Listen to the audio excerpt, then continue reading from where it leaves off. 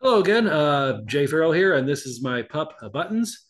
Um, it's I was going to do this outside, but it's kind of uh, thundery out there, so yeah, I'm in the mood, so let's go for it.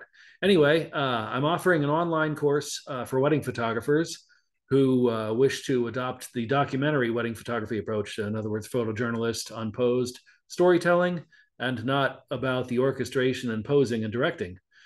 And one might ask, how does that happen? And aren't you going to lose customers? Yes, but not to worry. Um, there's already too many photographers out there.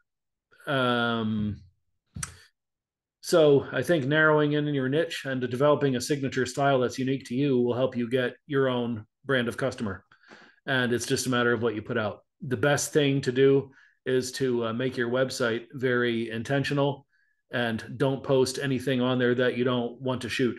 In other words, if you're looking to get away from portraiture at weddings, don't post any of that just because you think that the average couple might want to see it. Uh, stay true to the brand and uh, exactly what you want to photograph. Just like if you're um, a more styled wedding photographer, post uh, photos that include stylings that you want to shoot. It just doesn't make any sense to post the wrong thing and uh, get the wrong customer. So you have to be very intentional and deliberate with your website and even uh, state uh, the benefits of your approach on the website so people know quickly when they look at it if um, what you offer is right for them.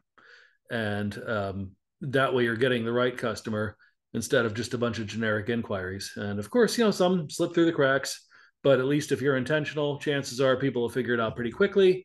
And you don't have to sift through a bunch of emails and calls and um, you're getting the customer that's right for you. You just have to take that risk and uh, be okay with the fact that you're not for everybody and you don't want to be because this way um, you might have a niche of a customer base but also they don't have as much to choose from.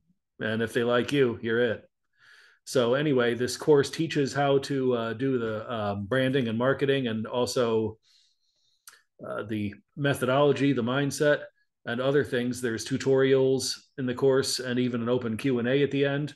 More information about that below. Hope this has helped. See you later.